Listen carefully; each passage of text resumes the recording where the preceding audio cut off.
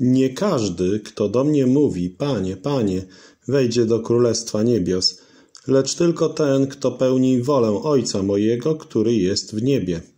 Ewangelia Mateusza, siódmy rozdział, dwudziesty pierwszy werset. Ludzie zamieszkujący zachodnią część Azji posługują się o wiele bardziej kwiecistym językiem niż my, Europejczycy. Jednak nawet najpiękniejsze słowa nie są w stanie zmienić rzeczywistości. Dobrym potwierdzeniem tego jest następująca historia. Pewien młody Azjata od kilku lat był zatrudniony w hotelu. Któregoś dnia nie pojawił się w pracy.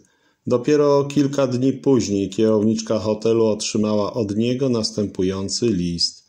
Szanowna pani, całym sercem jestem przy was, ale niestety fizycznie nie jestem w stanie być z wami, gdyż zatrzymały mnie inne zajęcia. Wypowiedź ubrana w piękne słowa, czyż nie? Jednak okazało się, że ów człowiek w rzeczywistości szukał innej pracy, a dotychczasową po prostu porzucił. Również Bóg otrzymuje często takie, w cudzysłowiu, listy, ubrane w piękne słowa, mówiące na przykład o tym, że się go kocha całym sercem, a jednocześnie pełne usprawiedliwień, dlaczego się w niego nie uwierzyło, dlaczego się jemu nie uwierzyło i nie zostało chrześcijaninem, że nie ma się czasu, aby czytać Biblię i modlić się z powodu natłoku zajęć.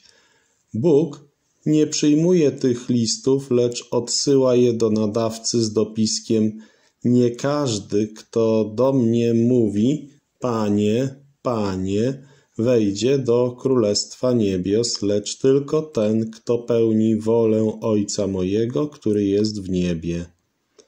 Jakże znaczące słowa. Druga część dzisiejszego wersetu mówi o wiecznym błogosławieństwie dla każdego, kto czyni wolę Ojca, tym samym potwierdzając, że jest prawdziwie dzieckiem Bożym. Nie oznacza to oczywiście, że możemy sami w jakiś sposób przyczynić się do naszego zbawienia. Oznacza to jedynie, że prawdziwe nawrócenie poznaje się po jego owocach, a to jest wola Ojca, aby wierzyli w tego, którego On posłał.